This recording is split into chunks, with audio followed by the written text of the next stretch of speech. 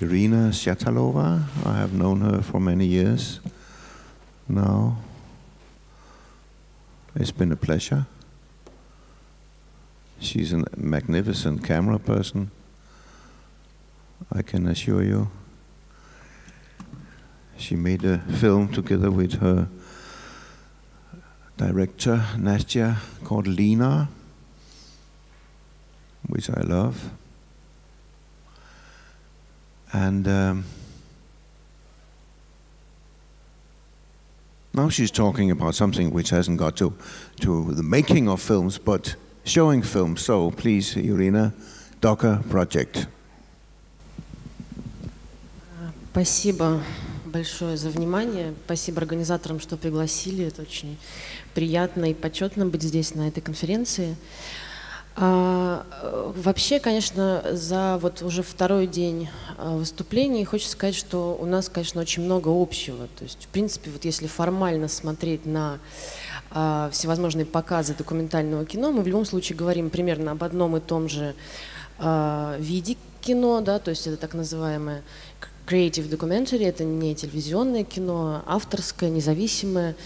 И ну, в чем-то вот э, все эти проекты кинопоказов и привлечения аудитории похожи. Э, и сходство есть, безусловно, даже вот между проектом Докер и Лаунж. Единственное огромное различие заключается в том, что у нашего проекта изначально не было поддержки, и э, ну, мое выступление официально звучит от регионального киноклуба к международному фестивалю. То есть действительно когда мы начинали заниматься показами, э, у нас не было ну вот совсем ничего. То есть мы начали с полнейшего нуля, э, не было никакой поддержки. Э, ну и, в общем, ситуация, конечно, изменилась не слишком кардинальным образом, но, по крайней мере, сейчас мы можем говорить о каком-то выходе на ну, такой более новый уровень и уровень хотя бы самоокупаемости. А, проект Докер э, стартовал в 2011 году. Получилось это благодаря такой счастливой случайности, как и многое в документалистике, наверное, бывает. Нужно быть просто готовым к этому, открытым.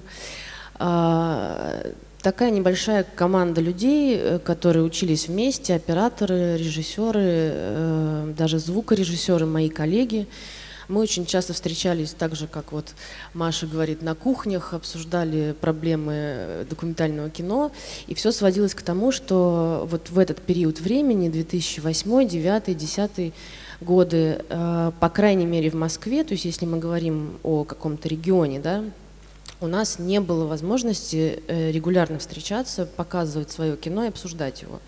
То есть, в принципе, не было такой площадки, где можно, например, устроить премьеру.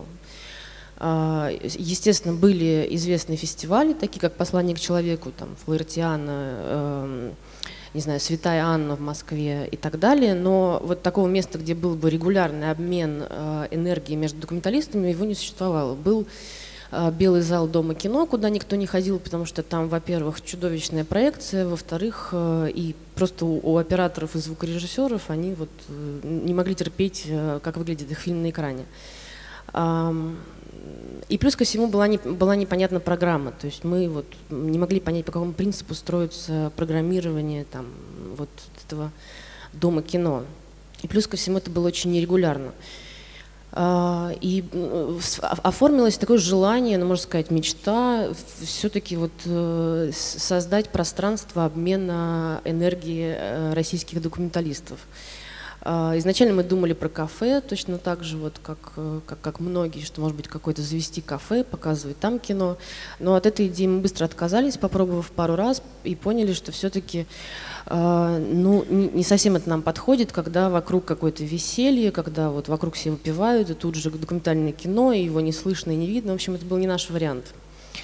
Нам нужно было что-то более серьезное. И э, в начале 2011 года э, к нам обратился директор кинотеатра э, «Дом Жур». Это небольшой особнячок, э, старинный в центре Москвы, где-то там в пяти минутах ходьбы от Кремля. Э, к тому моменту он был только что реконструирован. Там появилось два, два хороших зала. Маленький где-то мест на 70 и большой где-то мест на 110. И, но об, об этих залах мало кто знал. И руководству этого кинотеатра нужна была аудитория. И они обращались к самым разным коллективам, чтобы вот им э, люди устроили какие-то показы, э, какие-то мероприятия. В общем, притащили людей, лучше молодых, туда, в этот, в этот зал. Э, соответственно, это было все абсолютно на голом энтузиазме. То есть не предполагалась финансовая никакая модель вообще люди должны были приходить бесплатно, организовывать это нужно было бесплатно. Ну и, по сути дела, в общем, никто особо не нашелся на, на это мероприятие, кроме нас, потому что нам нужна была такая площадка. И мы не были заинтересованы в деньгах на тот момент. А, собственно, так и началась наша история. Мы начали проводить э, еженедельные показы, также, кстати, по вторникам в этом э, Дом-жюре. И э, началось все, соответственно, с социальных сетей, конечно, а, с социальной сети ВКонтакте, подобие Фейсбука, да, то есть примерно там очень-очень быстро появились люди, которые захотели смотреть кино. Первый показ был собран благодаря рассылке просто смс всем друзьям, соответственно, они пришли. Вот. Ну и где-то на третий показ вот собрался вот такой вот зал. То есть в принципе, для того, чтобы собрать э, вот этот зал и людей, которые э, не влезли в зал на 70 мест и стояли там в проходе полтора часа, пока шел фильм, нам потребовалась, ну, вот какая-то наша просто энергия. То есть нам не потребовался рекламный бюджет на это, нам не потребовалось ничего больше. То есть была какая-то, очевидно, потребность, какой-то запрос у людей. Соответственно, после того, как мы устроили вот такой показ, ну и все желающие не влезли на, на этот фильм, и нам пришлось устраивать параллельно в фойе на телевизоре э, как бы дубль показ, чтобы все остальные посмотрели, потому что они топали ногами и как-то вот очень хотели тоже попасть в кино. Затем нас пере, э, перевели в большой зал, который рассчитан на 110 мест, и туда мы перестали влезать тоже где-то к пятому показу. А после этого мы ввели регистрацию, что нам очень сильно помогло, потому что регистрация сразу нам начала собирать email-адреса. То есть мы начали составлять свою базу зрителей, которым интересно документальное кино. Естественно, ну, наверное, может быть, не стоит объяснять, что каждый фильм документальный связан с, как, с какой-то областью жизнедеятельности. Естественно, э, тема фильма привлекает все новых и новых людей.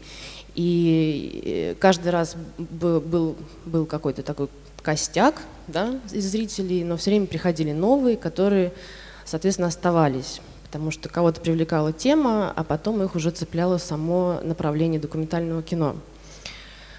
А, э, я чуть-чуть пропустила здесь вот такой текст. Я его оставлю здесь на, на английском, можно прочитать. Ну, по-русски так я продублирую. А, мы не хотели придумывать какой-то манифест или вот что-то такое очень строгое и жесткое, во что нам хотелось бы вгонять наш проект. Нам хотелось, чтобы проект развивался и был э, гибким, и мог показывать самое разное кино. А, но мы для себя сформулировали такие принципы того, как, какое кино мы хотели бы видеть. То есть эти принципы, конечно, не жесткие, они не были каким-то прям таким постулатом, но это то, что мы, э, то, что нам действительно хотелось бы показывать и на чем хотелось бы концентрироваться. Да, я переведу ну, на русский примерно, о чем тут речь, что в словосочетании документальное кино акцент падает на слово «кино» прежде всего. Э, есть тысячи способов создать документальный фильм, но э, неизменно должно быть то, что в нем должна быть драматургия, и он должен быть интересным. И э, изображение и звук также важны в документальном кино, как и в игровом, потому что язык кино э, создан из звуков и изображений. Ну, в общем, общий посыл примерно во всех трех принципах на самом деле одинаковый. Э, так или иначе мы старались ему следовать. Э, почему вообще э, возник вот этот ажиотаж. Понятно, что запрос общества – это одно, но он не может длиться вечно.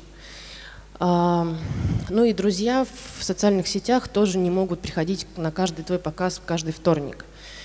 А, Все-таки вот то, что интерес не спадал, мы связываем с тем, что мы фактически каждый фильм, каждый показ а, готовили, ну, как такую маленькую прокатную историю.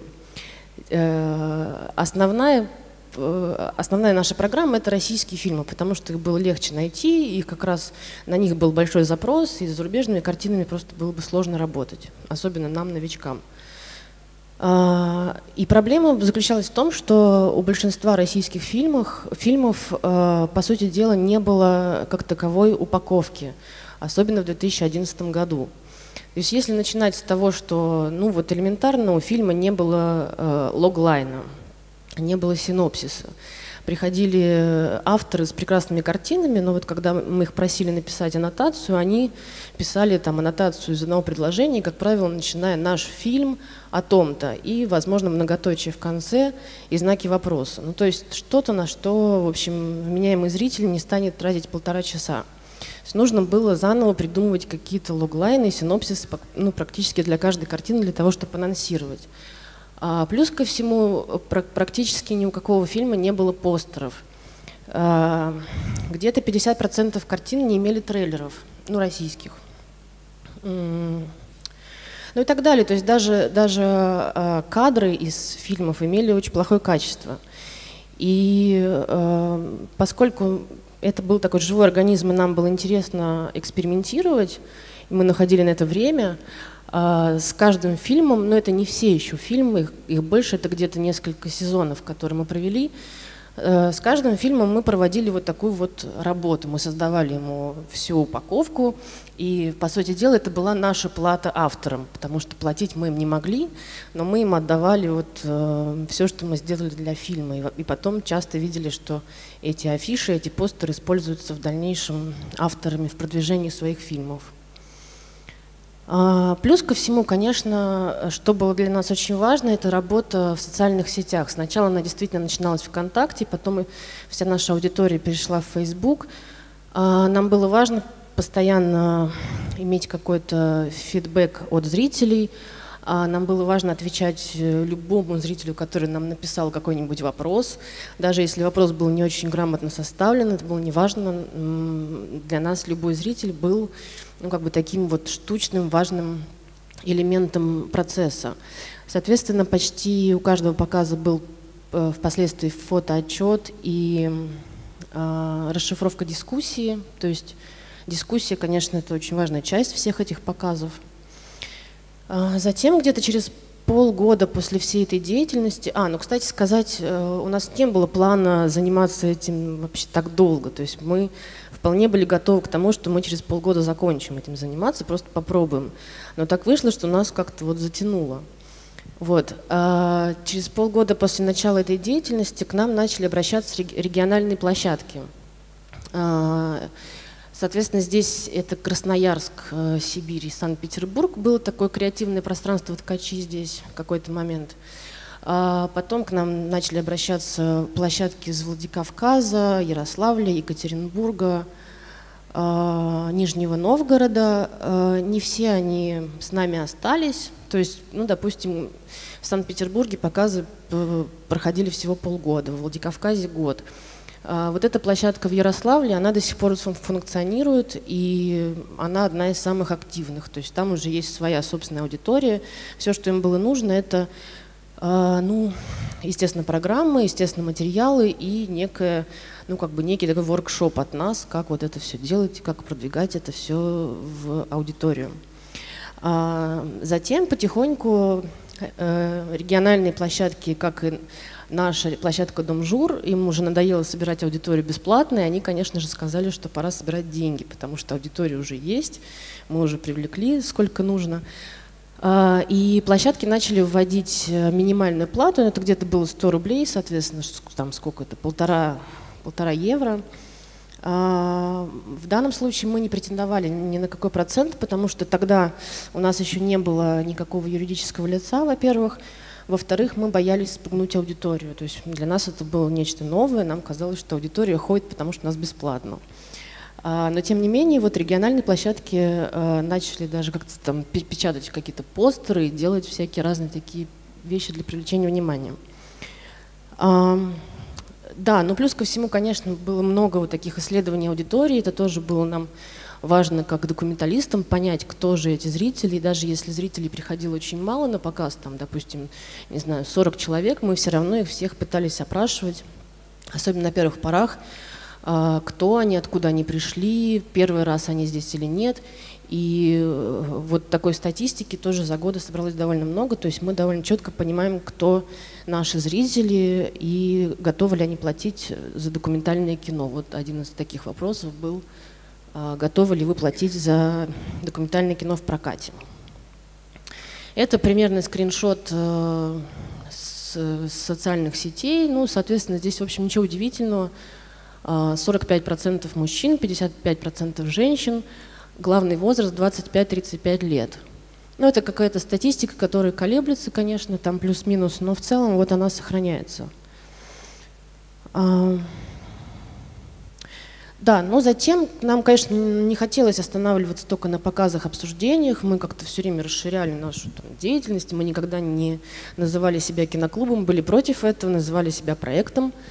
Поэтому мы начали делать э, мастер-класс, вот здесь вы видите, дворцевой. Он э, показывал свои фильмы, потом где-то в течение трех часов держал аудиторию мастер-классом.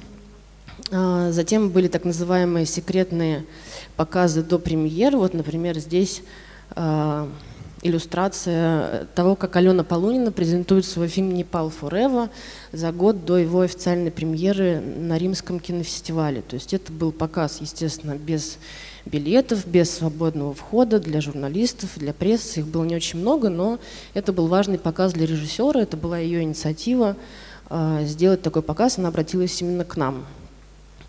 Затем получилось так, что многим авторам, в принципе, интересно устраивать премьеры на нашей площадке, поэтому они пошли со своими премьерами тоже к нам, и им, им было важно, э, опять же, устроить показ, дискуссию, э, иметь какой-то вот такой ну, фидбэк после показа. Э, плюс ко всему, это была частично их аудитория, что было нам тоже интересно. А, ну, естественно, это повлекло за собой и, всевозможные кооперации с разными киноинститутами, и культурными организациями. Мы много сотрудничали с Гёте-институтом в плане программ и привоза авторов из Германии. Мы сотрудничали с кинофестивалями российскими. И, в общем, это все такое, ну, это понятное действие, которое, опять же, не влекут за собой никакой экономической модели, но при этом они просто приятные. А, ну и затем мы попробовали в, кон- в начале 2014 года сделать что-то вроде мини-проката. А, к тому моменту мы уже стали компанией, проектом Докер, и выпустили в прокат фильм, вот, в, в котором я являюсь продюсером, то есть нам было легко это сделать, но просто на базе Докера, на базе нашей уже имеющейся базы зрителей, рассылки и этого самого кинотеатра мы зимой после Нового года выпустили такую документальную, непростую э, в плане эмоциональном э, картину в прокат. Было 10 сеансов. Ну и, в принципе, мы довольны результатом, потому что у нас не было рекламного бюджета, у нас не было пиар-отдела и всего прочего, но так или иначе мы собрали там вот какой-то, у нас был даже сбор с этих 10 сеансов, то есть они никогда не пустовали. А, в любом случае зрители были даже на последнем из них. А, ну и я так плавно подойду к моменту того, как докер стал перерастать в кинофестиваль и вообще почему это начало происходить. А, по сути дела, конечно, а, нам всегда хотелось показывать не только российское кино. И это было, в общем, наверное, основным толчком для создания фестиваля. И вообще, если возвращаться чуть-чуть в прошлое, то, допустим, мое первое посещение зарубежного фестиваля, такого как Док Лейпциг или там фестиваль в Ихлове в 2008 году, он меня настолько шокировал, а, что просто не давал покоя, наверное, до момента, пока мы не создали фестиваль Докер. А, почему он меня шокировал? Потому что я, казалось бы, проучилась в Авгике а, на операторском факультете. Затем я интересовалась кино и ездила по разным российским фестивалям. А, конечно же, я смотрела а, какие-то какую-то классику и доступные фильмы, которые, как сказал вот вчера отборщик послания, а, можно найти на рутрекере. Все это действительно было, но когда я посмотрела подряд программу вот, вот этих современных фестивалей документального кино в Лейпциге и в Ихлове, просто вот с утра, с утра до вечера, вот там то, что идет, да, там конкурс, не конкурс, ну, вот вся программа, которая там есть. А, она меня настолько потрясла, что я просто не ожидала, что документальное кино может быть таким. Хотя, казалось бы, я человек, который этим интересуюсь, и вообще вот это вот ну, моя сфера э, деятельности и интереса. А, я поняла, что мы не видели этого ни в Авгике, мы не можем этого найти в России, ни как авторы, ни как режиссеры, ни как зрители. А, и что, ну, как бы мы, в общем, лишены чего-то просто. Опять же, как зрители, как авторы и как э, документалисты. А, и поэтому с того момента, с 2008 года, вот это вот, э, ну, была такая идея, какая-то мечта, что вот надо что-то подобное все-таки организовать в Москве, потому что в Москве никакого независимого, ну, события, которое показывало независимое документальное кино, не было. Было э, ММКФ с прекрасной программой, но там мы, как мы знаем, там идут такие прям, ну, хиты, то есть это действительно там лидеры проката, там победители Санденса, победители ИТФы, но не вот эта вот э, интереснейшая прослойка независимого документального кино из самых-самых разных стран. Поэтому вот эта идея всегда была на подкорке, и ее хотелось реализовать. А, поэтому где-то вот уже, получается, к 2014 году мы начали об этом уже довольно плотно и серьезно думать, а, как это все устроить, начали ездить по фестивалям и общаться с продюсерами и дистрибьюторами на предмет поиска программ, а, и в качестве теста запустили информацию о предстоящем фестивале на э, фестивальных платформах. Ну, такие как там, всем известный фильм Freeway, да, Fest Home и так далее. И буквально за первый месяц мы получили несколько сот заявок. Но заявки были бесплатными, то есть мы не, мы не вводили плату за это. А, когда мы начали разбираться и смотреть, что же нам прислали, может быть, это совсем какой-то вот там любительщина какая-то, ну мало ли, потому что бесплатно. Мы поняли, что там есть действительно удивительные такие жемчужины, которые нам уже сейчас хочется показывать. А что же будет дальше, если у нас сбор заявок будет в течение года идти? А, поэтому мы решили останавливаться и во что бы то ни стало организовать фестиваль. И вот в 2015 году он открылся на базе того же самого проекта. То есть здесь важно понимать, что проект не прекращался, он продолжал идти в разных городах, в Москве, там, сям и так далее. Но вот фестиваль, как не, некоторые новые события, э, прошло в мае 2015 года. Э, там было 40 фильмов из 32 стран и всех континентов мира. Но на этот фестиваль у нас логичным образом не было финансирования. То есть мы, конечно же, предприняли все, все возможные шаги к тому, чтобы это финансирование получить. Мы сходили в Министерство культуры, мы сходили в правительство Москвы, мы обратились к нескольким спонсорам, но у нас не было там слишком много опыта. И, в общем, э, все, ну, практически все люди, к которым мы приходили, они у нас, особенно чиновники, они нам задавали один и тот же вопрос, а кто за вами стоит? Вот, и когда мы им называли цифры, что у нас за нами стоят не, некие зрители, они, конечно, смеялись очень сильно и говорили, ну, приходите в следующий раз. То есть в целом идея всем нравилась, но совершенно было непонятно, с какой стати вообще мы пришли просить какие-то деньги. А, поэтому мы решили, в общем, не зацикливаться на министерствах всевозможных и в любом случае организовать этот фестиваль.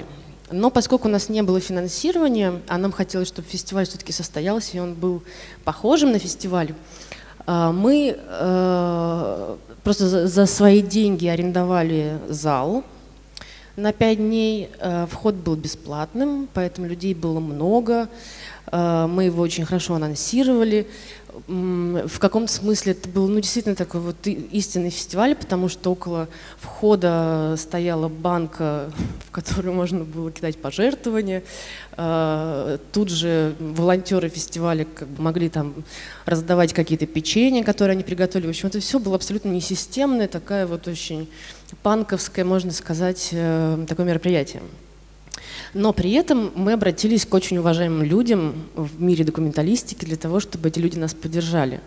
И вот вы можете посмотреть, здесь, например, э, есть господин Туэ, э, Виктор Косаковский э, и, и другие режиссеры из России, и операторы, и кинокритики из разных других стран – которым мы обратились для того, чтобы они оценили нашу программу, не приезжая в Россию. То есть мы, конечно, как бы поступили очень хитрым образом.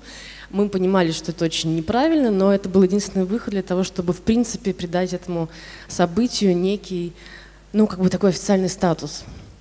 А, мы сделали все возможное для того, чтобы те фильмы, которые нам были присланы, а, можно было показать этим людям в разных странах максимально качественным образом. А, и в итоге жюри было, как это называется, ну, в общем, жюри было онлайн. Да? То есть у, жюри была некая связь, они посмотрели всю программу, короткометражную и полнометражную, затем они долго переписывались, общались, спорили по скайпу и вынесли э, свои вердикты. Почему это было так же важно нам? Потому что нам хотелось понять, насколько наша программа вообще конкурентоспособна. И после вот, э, вот этого мероприятия мы поняли, что, в общем, видимо, мы двигаемся в правильном направлении, потому что в целом все оценили программу очень хорошо. Но у нас осталось э, остался как бы такой долг за нами. Нам стало ужасно обидно, что э, такое прекрасное жюри выбрало победителей, что, конечно, кто-то из авторов приехал, кто смог приехать. Вот, например, здесь стоит автор из Австралии София Туркевич и автор из Великобритании, но это очень мало людей, которые вот мы как, смогли их разместить, так мы их разместили. А, как смогли им помочь, так и вот и, и помогли приехать в Россию. У нас не было ни, ну, никаких официальных возможностей. При этом, да, людей, вот, ну, как вы видите, людей было много, все очень радовались, смотрели документальное кино, задавали вопросы и так далее. А, мы поняли, что есть э, незакрытый э, долг за нами, и мы должны хотя бы призеров этого первого фестиваля, такого банковского, привести в Москву. Поэтому мы запустили краудфандинг.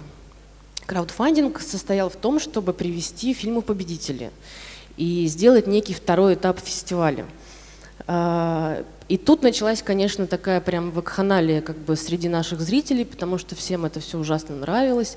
Они покупали подарки, э, какие-то термосы, появился хэштег «Док спасет мир», э, Марина Разбежкина дала право сделать подушку сны Марины Разбежкиной. Ну, в общем, было очень много смешной разной деятельности, которая нас, э, нам придавала много сил.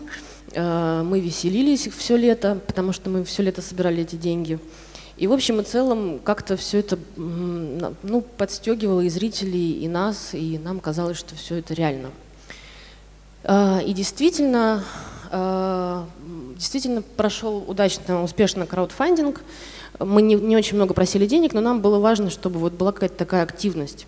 Помимо этого мы начали обращаться к разным э, экспертам, скажем так, с тем, чтобы те посмотрели фильмы «Победители» и выразили свое мнение. И своим экспертным мнением привлекли, возможно, других зрителей, а возможно и каких-нибудь спонсоров. Такая возникла у нас, закралась нам мысль. Вот, если мы можем да, посмотреть три минуты ролик небольшой, вот примера такого, как, каким могло быть экспертное мнение, это были совершенно разные люди. Ну вот в данном случае я хочу показать ролик с э, композитором и певцом Петром Наличем, который посмотрел фильм, связанный с такой перуанской э, самоидентичностью, поиском перуанцами себя внутри их национальной музыки, скажем так. И да, здесь очень важно, что это мы, мы просили, чтобы мнения были максимально вот простыми, э, просто ну, на эмоциональном таком уровне, наверное.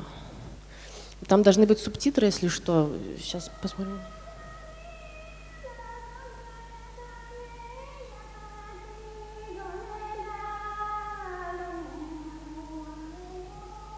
Фильм длинный, и когда я начал смотреть, думал, что, наверное, будет э, тяжеловато.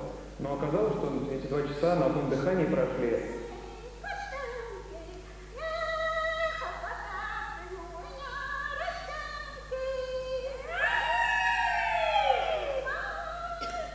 Ну, прям такое, такое впечатление, что это там, 20 тысяч лет назад пелись. То есть буквально такие, там это вау, вау, такая какая-то бабушка там пела замечательно, и, и все остальные подпевали. Такие просто как это восклицание.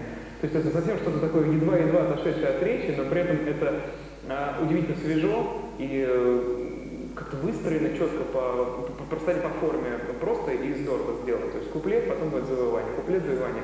Чуть-чуть сюжета там есть, то есть люди как бы они собираются в разных местах и приходят на этот фестиваль, при этом все сопряжено с чудесной природой, сопряжено со всякими э, переживаниями и мыслями вообще о жизни этих замечательных людей, разных, где-то там в горах более этническая музыка, ближе к в Лиме она более такая классическая латиноамериканская. А, все это вместе соединяется, все это чудесно, восхитительно, очень интересно.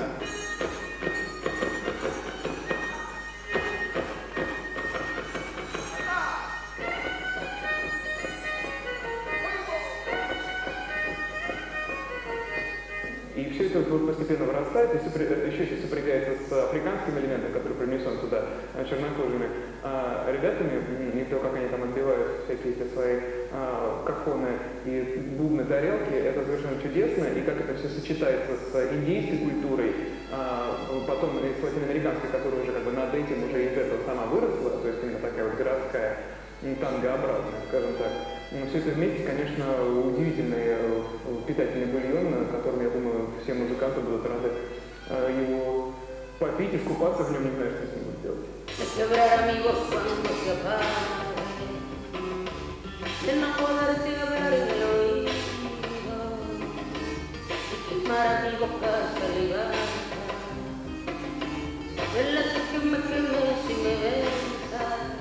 И я очень рад, что э, такой фильм э, в Москве смогут увидеть э, много-много людей. Это здорово, по-моему.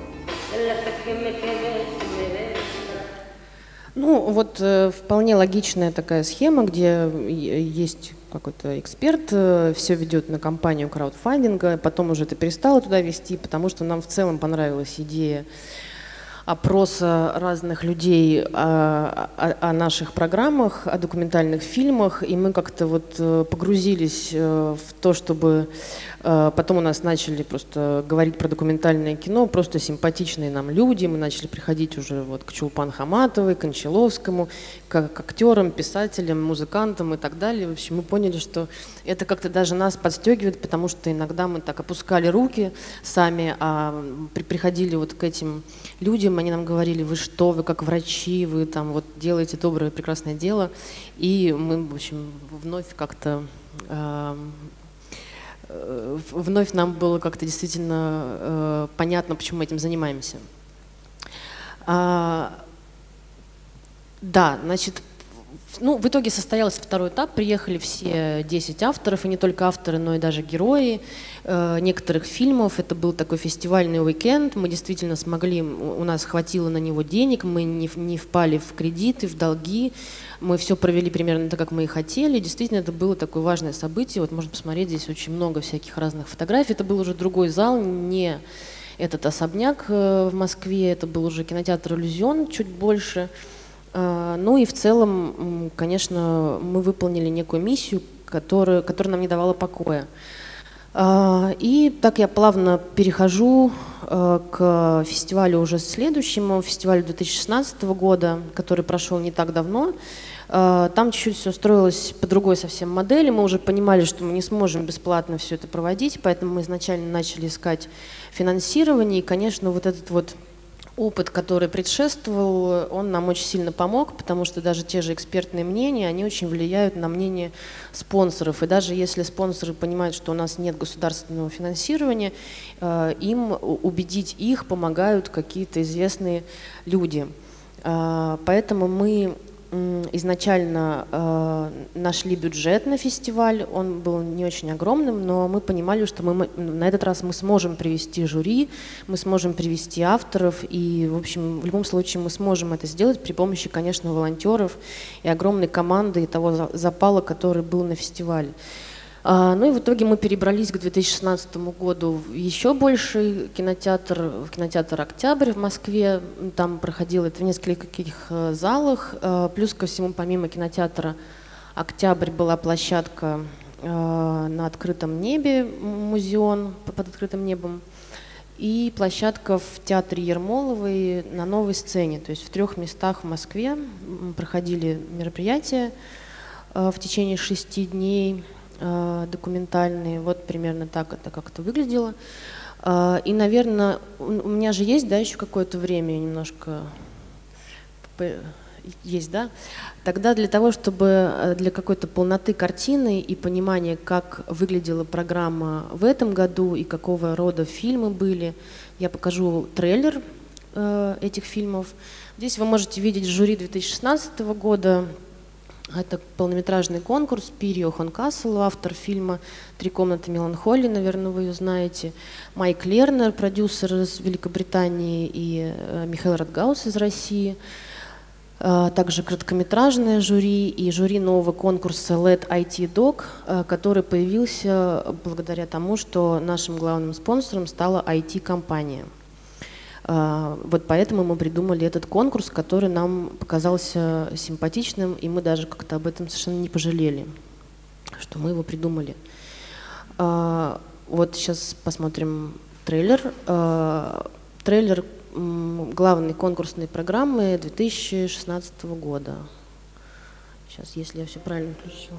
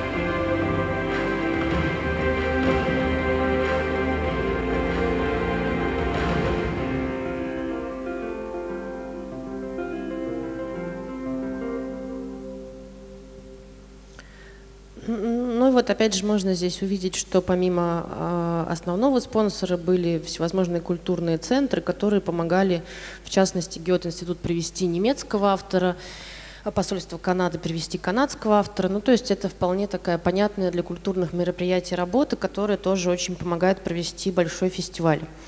А, ну вот, собственно, примерно такой путь нам понадобился пере, пере, переехать из зала на 70 мест э, в зал побольше, 5 лет нам потребовалось. Вот. Э, конечно, мы не вышли на какую-то действительно экономическую, скажем так, модель. Мы все равно продолжаем заниматься регулярными показами, но для себя внутренне мы решили что э, наши показы будут проходить реже, что мы все-таки постараемся собирать какие-то небольшие сборы, платить авторам и оставлять что-то себе, потому что существовать в режиме киноклуба мы уже, к сожалению, не в состоянии. Но, наверное, это логичный рост. Э, и вот, кстати говоря, э, мы, конечно, продолжаем следить за нашими соцсетями очень активно э, все время смотрим, что там происходит. Вот последние новости, собственно, с послания к человеку. Здесь вот есть небольшой ролик. Э, люди смотрят, наши поклонники. Мы можем увидеть, что в Фейсбуке у нас сейчас 6785 фанатов проекта Докер. Э, цифра не очень большая, наверное, для бизнеса, но для нас она большая, потому что мы знаем, что каждый человек из этих 6785 наш зритель, он когда-то бывал на нашем показе, и это очень важно для нас.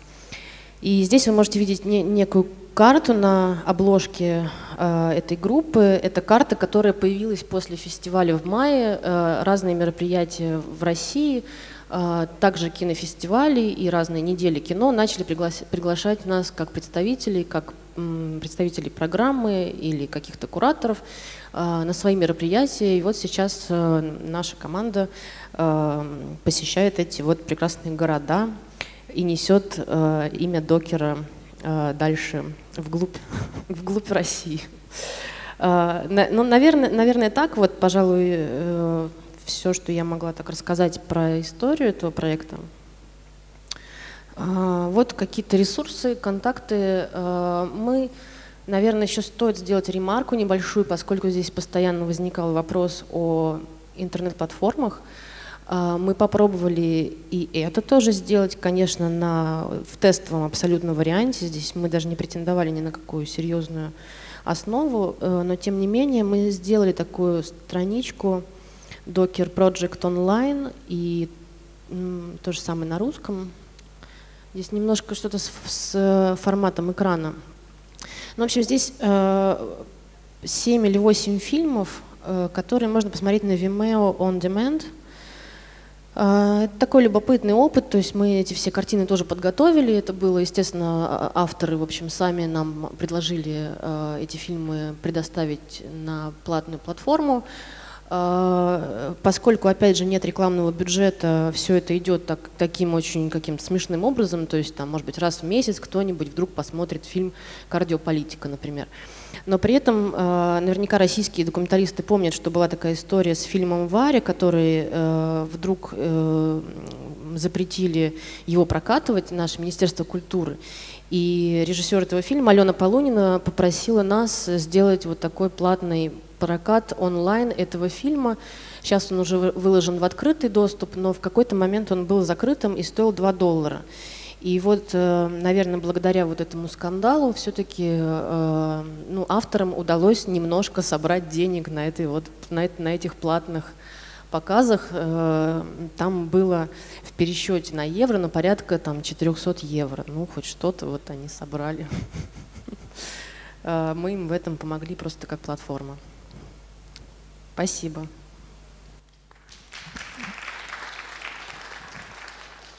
Thank you. I mean, it's bravo, it's amazing. So now it started like a kind of kamikaze project, huh?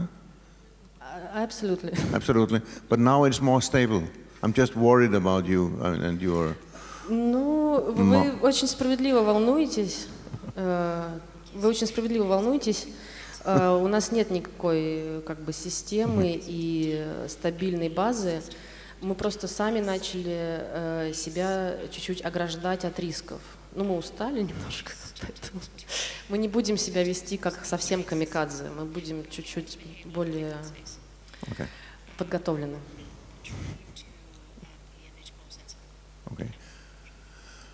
I just want to say one thing. What, what really, what I really like to be in the jury the first time, I don't know if you do that uh, also in, in 2016, was that it was not the best film is. It was also a prize for the best camera boy, camera person, the best editor, the best music, the best sound engineering, etc. I found that very, very nice because it's, uh, you know, also to to uh, pay a tribute to, to, to the team behind films. Are you doing that still? Да, yeah. конечно, да, мы оставили эту, эту систему, этот принцип. Нам очень важно э, выделять профессии внутри документального кино. Э, это ну, довольно большая редкость на фестивалях, когда там звукорежиссеры документального кино могут выделить. Для нас это важно. Exactly. Okay. And this is because you are the people who are making the festival are filmmakers, yes? Ну, по всей видимости, да. Yeah. And if you should say something about the profile, the, the policy, the, the, the, programming policy of your festival compared to the other festivals which are more established also in, in Europe, what, what would you, how would you characterize it? Ну, сложно судить, нету единого направления. А, может быть, это глупо прозвучит, э, но когда мы об этом задумывались, о том, какой будет программа, э, мы э, с командой фестиваля, да, которая составляет где-то 10 человек, которые принимают участие в том числе в отборе, а, мы договорились, что у нас не должно быть ограничений тематических, у нас не должно быть ограничений географических и даже жанровых. То есть э, понятно, что кто-то из, из нас, тех, кто делает э, документальное кино, допустим, не любит э, там реконструкции, да, например. Но при этом мы не запрещаем себе такие фильмы выбирать. То есть, наверное, главный подход был представить э, максимально возможную палитру э, независимого кино. Но при этом это, как правило, фильмы, которые приходят... Э, то есть это фильмы, э, которые приходят либо напрямую от авторов, либо от небольших дистрибьюторов. То есть у нас были в этом году фильмы, допустим, из Тосковский фильмс, и из других э, компаний, но все-таки чаще это напрямую работа с независимыми авторами. Особенно что касается таких регионов, как Латинская Америка, Азия, э, Африка.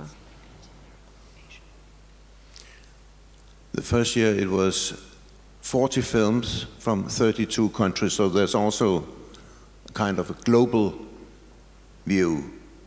You want to cover as many countries as possible, or how, how is that?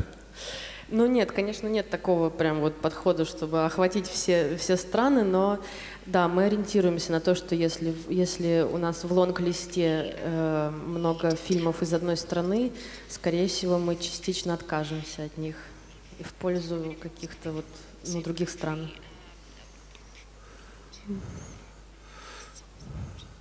Okay. And you still want to have 40 films, or do you want to increase, or, or what? Ну, мы, мы, мы, конечно, хотим э, расти, но все будет зависеть от бюджета, потому что бюджет на следующий фестиваль мы только начали собирать. Because if you compare with other festivals uh, like Leipzig, ITFA, etc., I mean, they have 200, 300 films and so on. Да, конечно, но у нас нет таких, э, э, таких амбиций и возможностей. Нам вот нравится пос последовательное движение, вот э, там от киноклуба к проекту, от проекта к фестивалю. И мы за то, чтобы не было никакого давления и насилия в этом вопросе. Okay. Спасибо. Any more? Any questions? No, it's only me. Yeah, please. Ира, ну у меня, конечно, вопрос про работу с регионами. Я э, слежу за вашим проектом давно.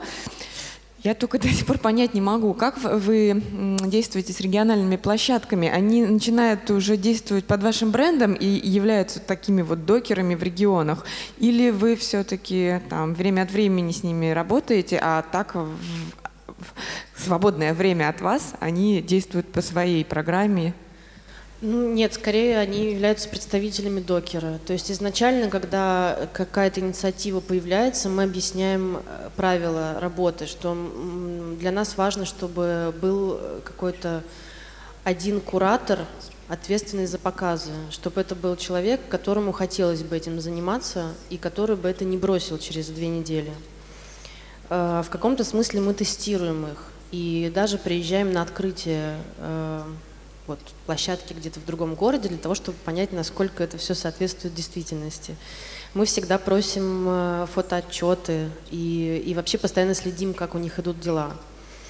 И, ну вот, допустим, Ярославль, как такая самостоятельная площадка, они даже создали вот все те же ресурсы наподобие нашего, но только докер в Ярославле, и они занимаются только этими показами. То есть вот там они проходят э, два раза в месяц, они готовят их э, как события, они придумывают, кого пригласить из спикеров туда, э, напрямую связываются с режиссерами, иногда могут оплатить им даже дорогу до Ярославля. Э, то есть, с одной стороны, они автономны, но с другой стороны, они не могут взять и начать показывать все, что им захочется.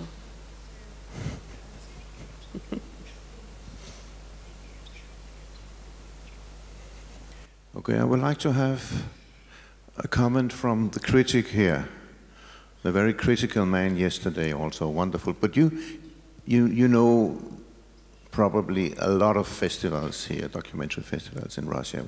What about this one? How do you look upon that? Спасибо, Туя. Ну, действительно, в России фестивали, вот если говорить так, просто как про них, про общую массу, про статистику, несколько десятков. От амазматических старосоветских до коррупционных каких-то распилочных. Но э, докеровская инициатива, вот, особенно с Ириным педантизмом, э, таким своеобразным простодушием и любви к последовательности, очень, очень приятная такая. Можно э, с профессиональной точки зрения его весь разнести в пух и прах и сказать, что все делается с задором, но на коленке. Но это вот настоящая, живая, даже не низовая, а какая-то прямо такая э, импульсивная э, инициатива, которая как, как, в общем, как э, снежный ком развивается. По-моему, по-своему уникально и приятно, что есть. Ведь человек стоит, улыбается, доволен всегда. Приятно, когда человек то, что он делает, любит, и это чувствует и зрители, и, и вот мы тут сидящие. Спасибо. Это прям приятно слышать. Антон бывал у нас на нескольких показах. На несколько.